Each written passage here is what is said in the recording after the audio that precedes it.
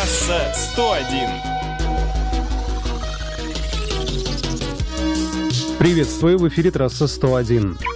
Владимир Сметанин не нарушает. Почти.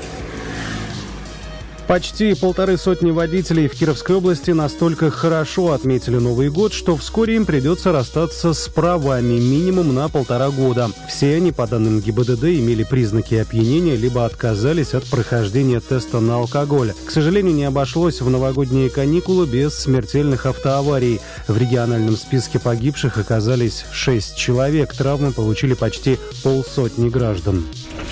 Трасса 101.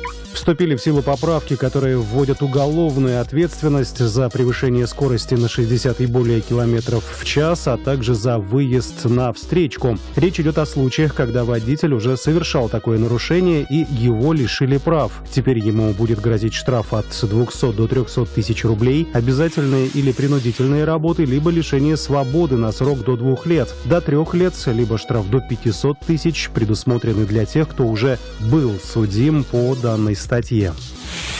Трасса 101.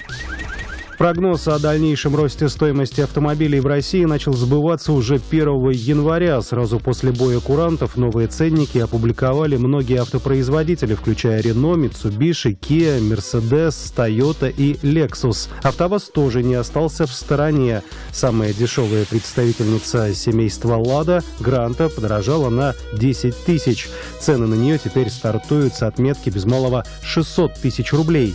Начальный ценник Весты 860 53 тысячи. В 2021 году Тольяттинский завод поднимал цены 7 раз, в 2020 – 6.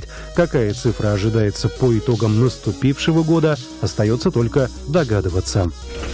Трасса 101. Самыми угоняемыми легковыми автомобилями в ушедшем году, по данным полиции, оказались Hyundai Solaris и Kia Rio. Меньшим вниманием злоумышленников пользовались предыдущие лидеры рейтинга Toyota Camry, Toyota RAV4, Hyundai Tucson и Kia Sorento. Что касается отечественного автопрома, то число покушений на его представителей было несущественным. В целом количество угонов автотранспорта в нашей стране снизилось на 12%, уверяет МВД. Трасса 101. Компания Mitsubishi создала автомобильные фары, которые светят туда, куда, да, смотрит водитель. Система основана на постоянном слежении за позой рулевого и его взглядом. Кроме того, она мониторит такие параметры, как температура тела и цвет кожи, который зависит в том числе от частоты сердечных сокращений. На основе этих данных электроника делает вывод о степени усталости шофера.